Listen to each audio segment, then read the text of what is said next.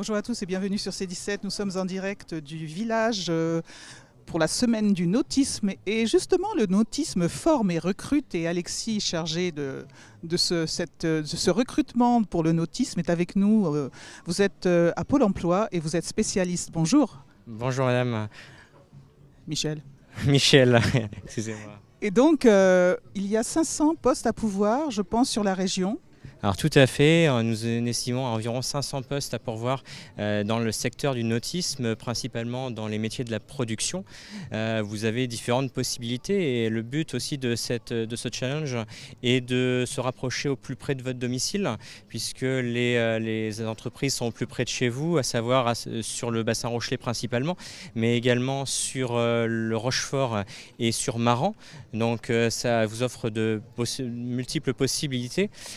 Les, métiers de la production sont principalement le- la stratification, c'est-à-dire les constructeurs des coques en résine.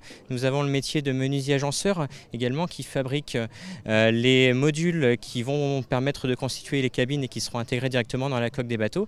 Et puis nous avons le dernier métier euh, qui est le métier d'accastilleur, euh, c'est-à-dire les, salariés qui installent tous les éléments chromés sur les coques des bateaux, donc tous les éléments de navigation et de sécurité qui permettront la navigation par la suite. Donc, euh, Pôle emploi assure ou les entreprises assurent les formations. Alors tout à fait. Euh, le, ce qu'on demande également aux candidats aujourd'hui, c'est d'avoir trois choses, à savoir d'une part la motivation, euh, également une appétence pour le travail manuel et puis un minimum de savoir-être bien évidemment, d'arriver à l'heure tous les jours au travail avec le sourire et, avoir envie de tout simplement de s'intégrer à ce secteur qui offre voilà, aujourd'hui de, de grandes possibilités d'intégration.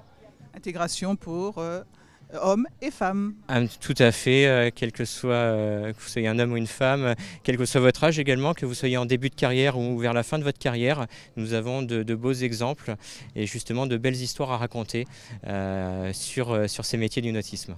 Merci beaucoup, Alexis. Merci le, tonis, le nautisme forme et recrute. À bientôt sur C17 et toujours en direct.